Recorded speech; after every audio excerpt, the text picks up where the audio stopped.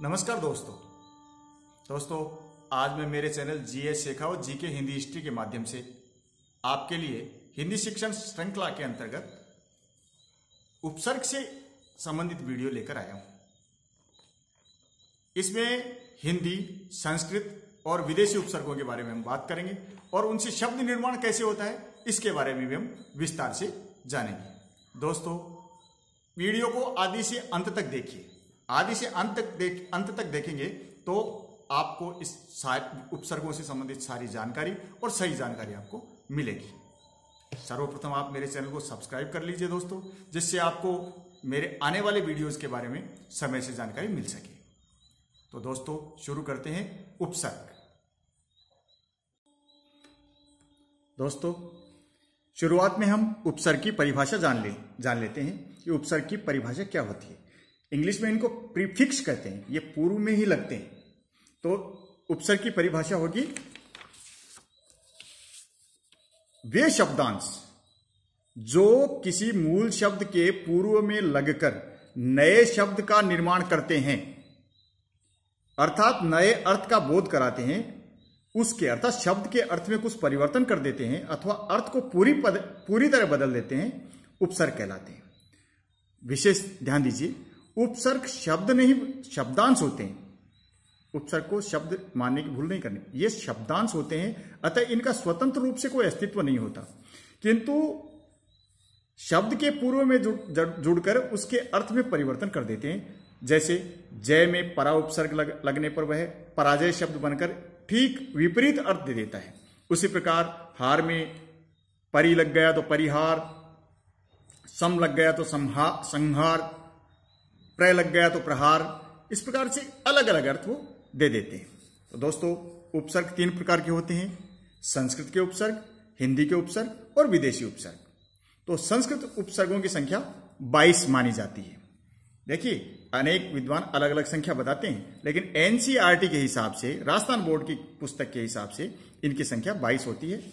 ये हैं अधि, अति, अनु, अप, अभि, अवत, आ, उत उप दुर दुस नि प्रति अन।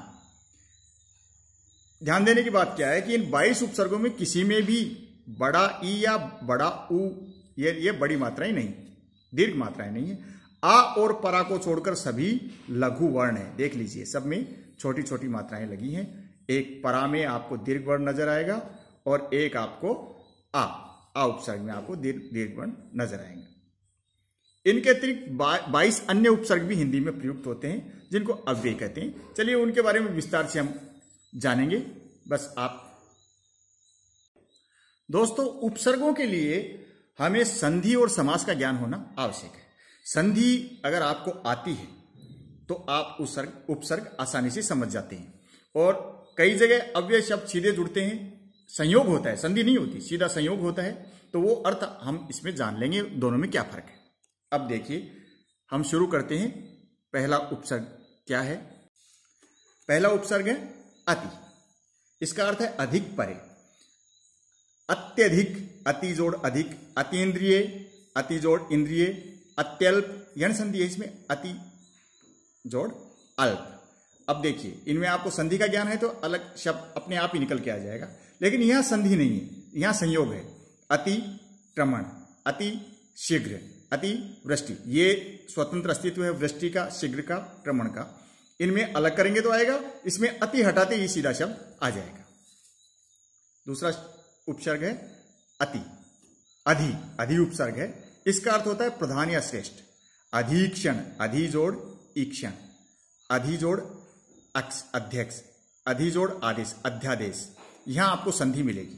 और यहाँ संयोग है। अधि जोड़ पति अधि जोड़ नियम अधि जोड़ नायक। यहाँ अधि निकालते ही ये शब्द आपको आराम से मिल जाएगा। इनमें मूल शब्द अब पति निकालेंगे तो अधि उपसर्ग अपने आप ही निकल के आ जाएगा। उपसर्ग है अनु। अर्थ है पीछे समान। अनुजोड़ अय अनुजोड़ वीक्षण, ईक्षण, अनुजोड़ उदित। छोटा उ आएगा यहाँ, ये छोटा अनु, ये आएगा और उदित। तो ये बड़ा उ बन जाएगा। अनुकरण, अनुचर और अनुशासन। इनमें तीनों में संयोग है। कारण, चर, शासन। अनु हटाते ही अपने आप ये शब्द निकल के आ जाएँगे। अब इसका अर्थ होता है बुरा। विपरीत, अपेक्षा। अप जोड़ ईक्षा, अप जोड़ कीर्ति, अप जोड़ शब्द अभी, अर्थ है सामने पास। अभी जोड़ उदय, अभी जोड़ अर्थी, अभी जोड़ ईस्ट अभी जोड़ ईस्ट अब यहाँ संधि है। यहाँ आप देखिए अभी भाषण अभी मान मान में अभी लगा है सीधा सीधा। योग में अभी लगा है यहाँ संयोग है। अव उपसर्ग है, अव उपसर्ग, हीन, बुरा, नीचा, ये अर्थ होते हैं। अवगुण, अवनति, अवलोकन, इनमें सीधा संयोग हुआ है। गुण में अव लग गया, नति में अव लग गया, लोकन में अव लग गया। आ, अर्थ होता तक से पर्यंत। अव्यय शब्द है, अव्यय है। आ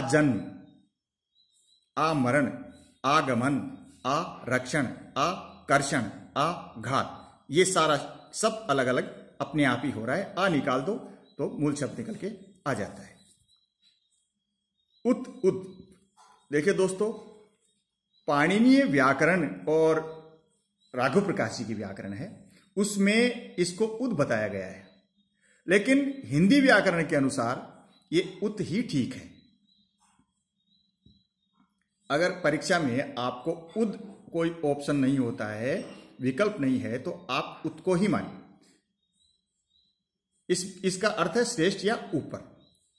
उत्पन्न, उन्नत, उल्लेख, उत्कृष्ट, उत उत्कृष्ट उत्ज्वल उच्चारण उज्ज्वल उज्ज्वल और उच्चारण। इनमें ये मूल शब्द में उत जुड़ा हुआ है या उद जुड़ा हुआ है। इस तरीके से ये उद या उत से।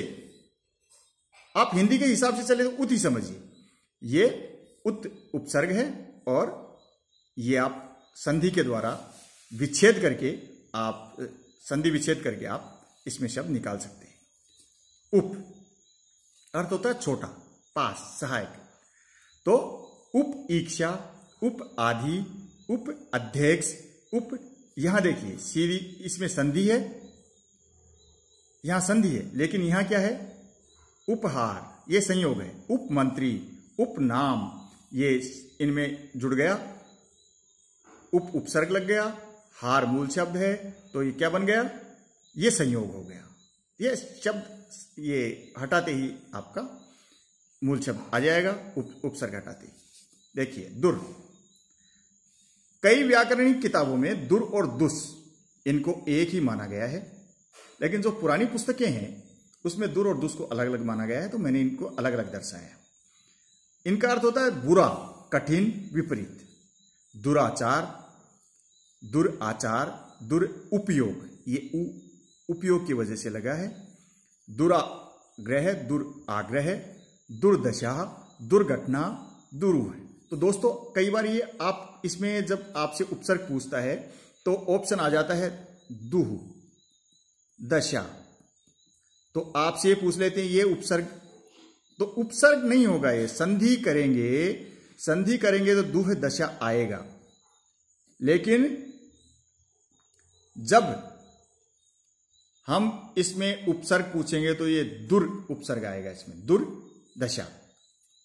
दुर जोड़ दशा। इस तरीके से उपसर्ग आएगा। दुस उपसर्ग को लेते हैं। बुरा, कठिन, विपरीत। यही अर्थ देता है। इसीलिए इनको एक भी मान रखा है। दुशासन इसके प्रभाव से ये ये शय बन गया। ये शय बन गया। और लेकिन ये उपसर्ग इसमें दुष ही है। दुष्कर इसके प्रभाव से ये शय बन गया। और दुस्साहस में इसके प्रभाव से ये बन गया। लेकिन देखिए दोस्तों, उपसर्ग दूसरी रहेगा इसमें। ठीक है? उपसर्ग दूसरी रहेगा, चाहे ये इस इस इस शय में परिवर्तित हो जाए, चाहे इस शय इसमें परिवर्तित हो जाए, लेकिन उपसर्ग यही रहेगा। आगे चलते हैं। नी, बिना विशेष। नि, ऊन, न्यून, निडर, निवारण। ये ये संधि के द्वारा नी, ऊन और निडर ये आपके संयोग के द्वारा बने हैं। ये, निर और निस को भी, दोस्तों, कई व्याकरण एक ही मानते हैं। लेकिन हमने अलग अलग दर्शाए हैं। बिना बाहर, निर निर अपराध, निर आकार, निर अक्षर, निर जर, निर धन, निर दोष। इस तरीके से ये शब्द बनेंगे अलग अलग निकल जाएँगे। निश्चय, इसका भी यही अर्थ है, बिना बाहर रहित, निह निश्छल निष्काम, निस्तेज, निस्संदेह। देखिए, ये इसके प्रभाव से इसमें परिवर्तित हो गया इस में और इसके प्रभाव से इसमें और ये बाकी ये वैसे का वैसा ही बना रहा। दोस्तों, संस्कृत का उपसर्ग है प्र। इसका अर्थ है आगे अधिक ऊपर। प्र आरंभ, प्रारंभ। प्र हार, प्र उज्ज्वल। प्र आयोजक, प्र बल, प्र यत्न। इनमें देखिए, इनमें संयोग है। प्रयत्न प्र बल। और इसमें भी संयोग है, बाकी सब में संधि है। प्र आरंभ, प्र उज्ज्वल, प्र आयोजक। परा, पीछे विपरीत अधिक। पराक्रम, पराजय, पराविद्या। इनमें सब में संयोग है। परि, चारों ओर, पास। परि ईक्षा। परिआप्त परिआवरण परिपूर्ण परिमार्जन ये मैंने दो बार लिख दिया है। ठीक है? यहाँ आपको संधि भी मिलेगी और आपको यहाँ संयोग भी मिलेगा।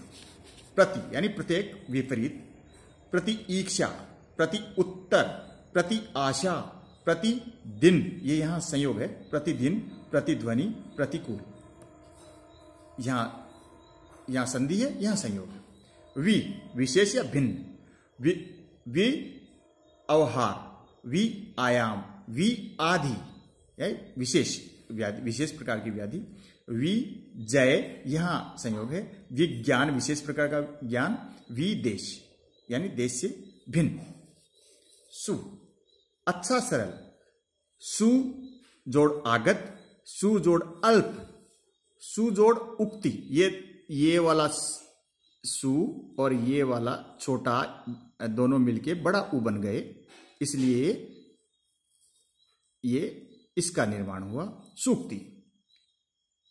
यहाँ सीधा ही मिला हुआ संयोग है, सुगंध सु अवसर सुगति। सम उपसर्ग है, अच्छी तरह, पूर्ण रूप से शुद्ध। संकल्प संकल्प समतोष सम योग, संरक्षा, ये दो बार लिख दिया मैंने, संशय। अन अन का अर्थ नहीं, बुरा। ये देखिए, इसमें हिंदी में एक अन और है, लेकिन वो पूरा है, वो व्यंजन पूरा है, ये इसमें आधा है। तो अनंत, अन आदि, अन आहूत, अन उपयोगी, अन ईष्ट, अन उपम। तो ये इस तरीके संस्कृत के शब्द बनते हैं।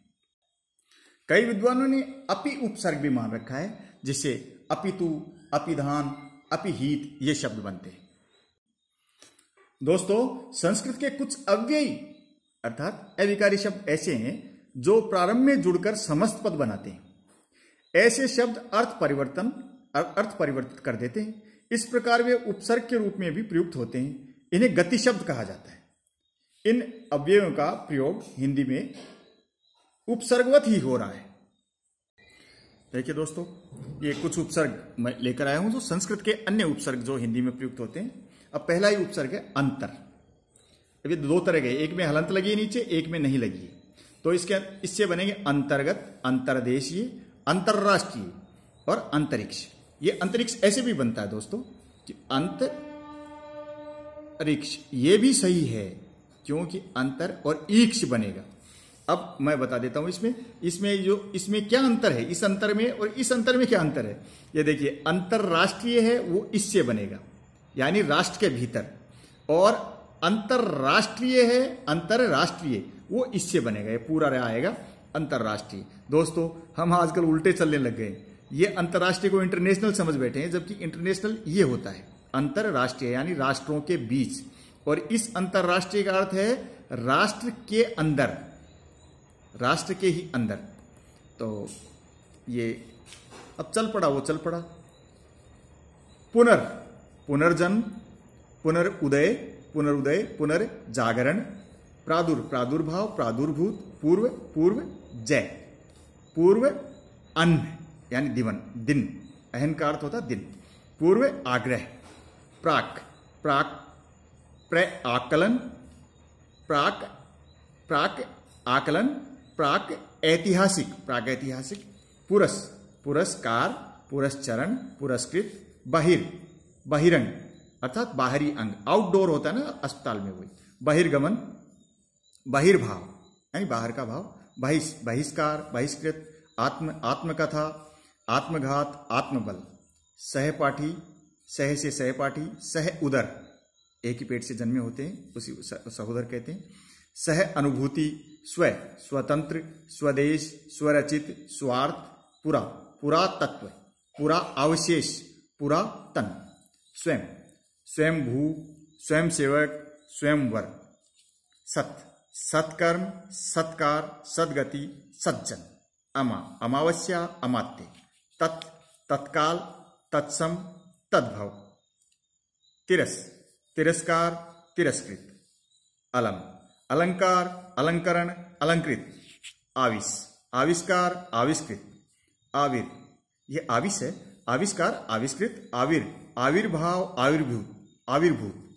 इति इति श्री, इतिहास, इति आदि, इति इत्यादि। इति आदि, इत्यादि। प्रातः प्रातः प्रातः काल, प्रातः स्मरण। चलिए दोस्तों, अब अपनी मातृभाषा हिंदी के उपसर्गों की बात करते हैं। पहला उपसर्ग है ए, इसका अर्थ है अभाव। अचल, चल में ए लग गया। अचल, अगम, अटल अथा है।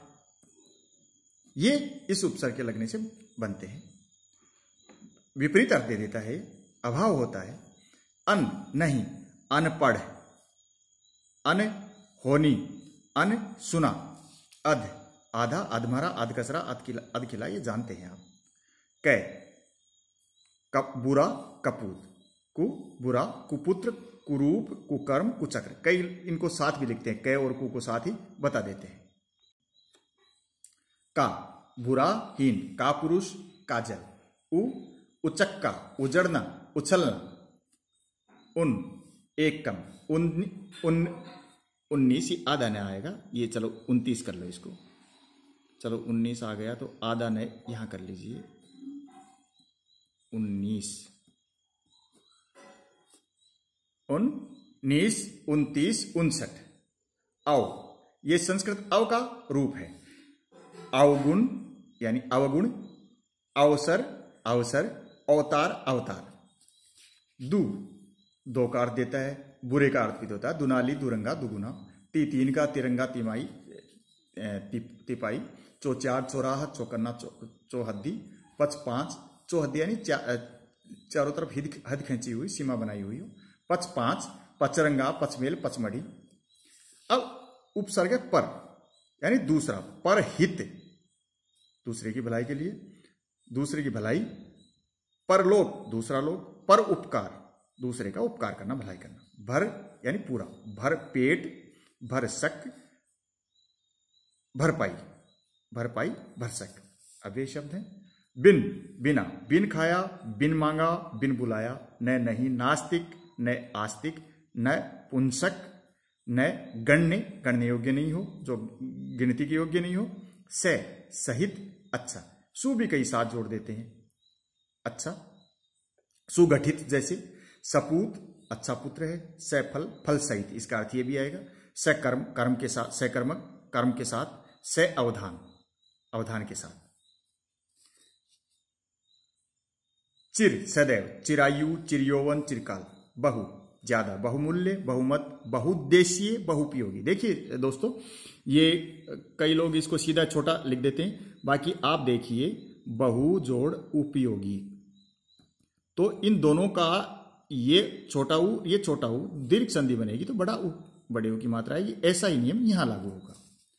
आप स्वयं आप बीती, आप सुनी, आप काज नाना, अनेक प्रकार, अनेक विविध। नाना प्रकार, नाना जाति, नाना विकार। सम, समान, समतल, समकक्ष, समदर्शी, समकोण, समकालीन। दोस्तों, विदेशी उपसर्ग में पहले अरबी फारसी के उपसर्ग देखते हैं। बे, इसका अर्थ होता है बिना, रहित। बेघर बिना घर।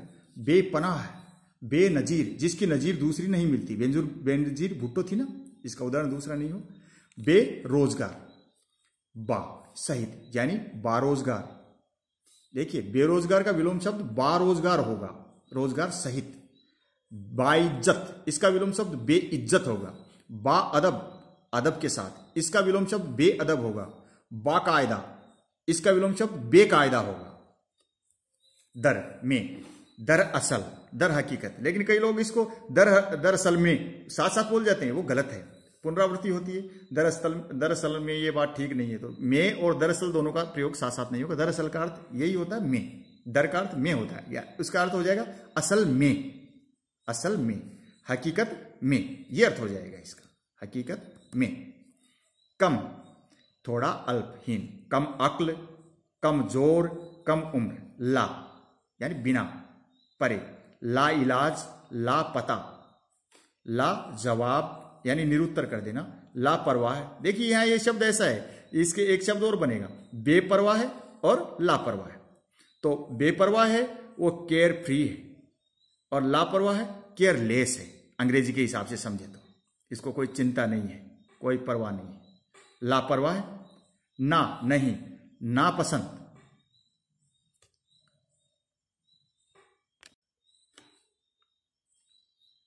ना, नहीं, नापसंद, नाकाम, नाजायज ना लायक लायक नहीं हो, जो जायज़ नहीं हो, वो काम का नहीं हो, जो पसंद नहीं हो। सर प्रधान मुख्य होता है, जैसे सरपंच, सरपोतदार, जो पोत होता है जहाज़ उसका जो हेड होता है, प्रधान होता है, पोतदार, यानी जहाज़ को रखने वाला, और उनका जो हेड है, वो सरपोतदार है।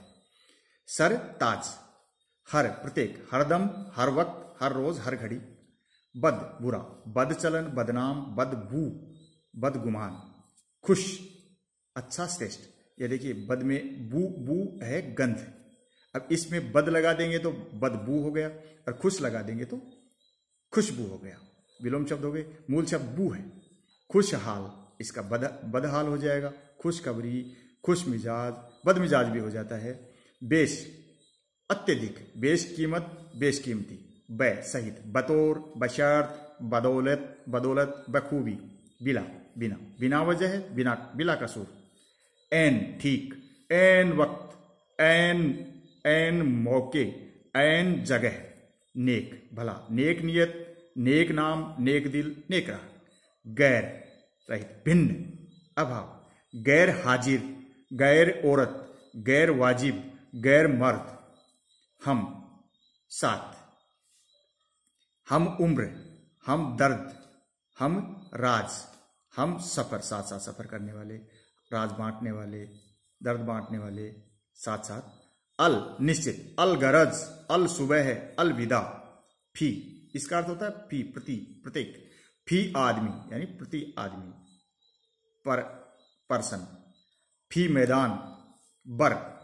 ये उपसर्ग, ये दो उपसर्ग, ये सब लोग नहीं मानते हैं, लेकिन कई पुस्तकों में ये है, कई विद्वान इसको मानते हैं।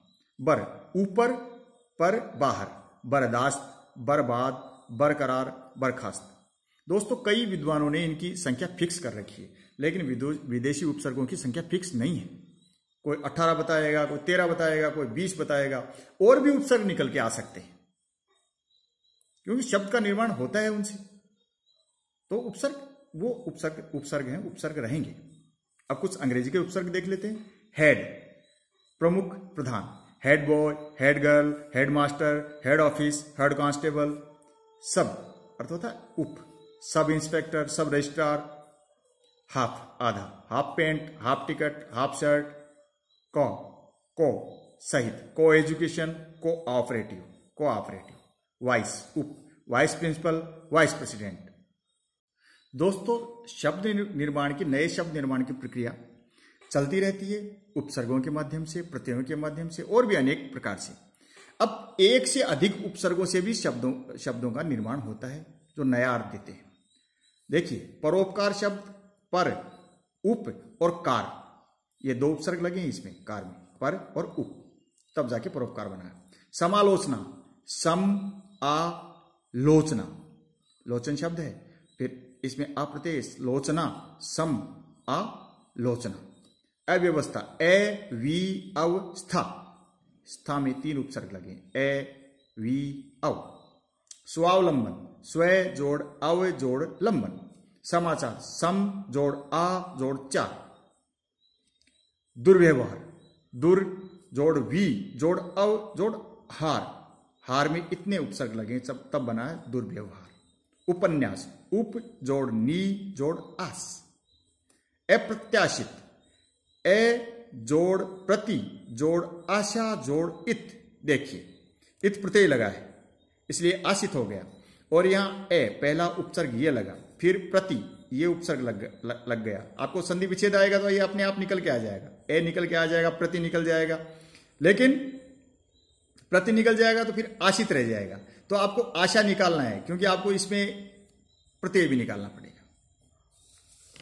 देखिए, ये अप्रत्याशित दोबारा देख लीजिए। ए प्र, ए प्रति, आशा, इत। तो हमें प्रत्यय भी निकालेंगे। तो दोस्तों, मेरा अगला वीडियो वीडियो प्रत्यय का ही है। तो आप वो ज़रूर देखें दोस्तों, कई उपसर्ग हैं, जो जैसे विदेशी उपसर्गों में बिल उपसर्ग भी है, जैसे बिल्कुल शब्द बनेगा, और कई लोग उपसर्गों को गलत प्रयोग कर लेते हैं। जैसे निष्फिक्र बोल देते हैं कहीं चलते चलते बेफिजूल बोल देते हैं। अरे, फिजूल ही हो गया, उसमें बेक लगाने से कौन सा अर्थ देगा वो? सोचिए जरा। निष्फिक्र संस्कृत का उपसर्ग है, वो आप अरबी फारसी वाले शब्द में लगा रहे हो? बेफिक्र, सही होगा। निश्चिंत के साथ लगेगा। निश्चिंत, बेफिक्र, इस तरीके से ये उपसर्ग आएँगे। तो कोशिश हमारी ये होनी चाहिए कि हम सही उपसर्ग का उपसर्ग का प्रयोग करें। दोस्तों, संख्या के किसी विवाद में नहीं पड़ते हुए, और कई उपसर्ग ऐसे भी हैं जो हिंदी के संस्कृत में आ रहे हैं, संस्कृत के हिंदी में आ रहे हैं। विभिन्न विद्वानों की पुस्त, विभिन्न पुस्तकों में अलग अलग आ रहे हैं। लेकिन मेरी कोशिश ये थी कि आपको मानक प्रामाणिक जानकारी दूँ। मैं मेरी कोशिश में कहाँ तक सफल रहा हूँ ये तो आप कमेंट बॉक्स में जाके कमेंट करके बताएँगे। हिंदी संस्कारों की भाषा है कृपया मर्यादित भाषा में कमेंट कमेंट करें। आ, मेरा वीडियो आपको पसंद आया हो तो इसे लाइक करें सब्सक्राइब करें और शेयर करें।